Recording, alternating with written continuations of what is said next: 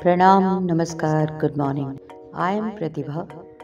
At our farm, as we are planning for the next crop very soon, so as usual, we love to have the many TCBT formulas prepared in advance as they are really effective.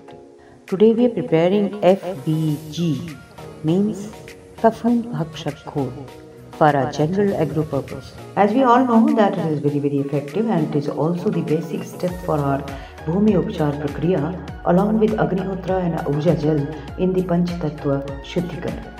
For Fafund Bhakshak Khol, we require 1 liter of Fafund Bhakshak Taral, drum of 200 liters capacity, 2 kg gur, a clean stick, hand gloves, one small bucket or a tub, drum cover along with cotton cloth. First clean your hands or wear clean hand gloves Dissolve 2 kg gur in a small bucket or a tub. Fill drum with 200 liters clean or fresh water. Mix dissolved gur and 1 liter of Fafund Bhakshak from the bottle. Mix it well. Take back some water back in the Fafund Bhakshak bottle and keep for the future use. Never let this bottle dry out. Mix all of them with clean stick Keep this drum tightly closed. Cover with cotton cloth, also under the shade of the tree for 7 days. After 7 days, this 200 liters of drum becomes your master culture or mother culture of FBG.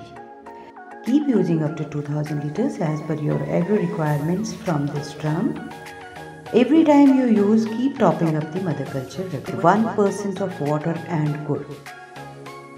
Use of FBG Take out 10 liters of FBG mix in a separate 200 liters of water in a drum along with 2 kg of wood.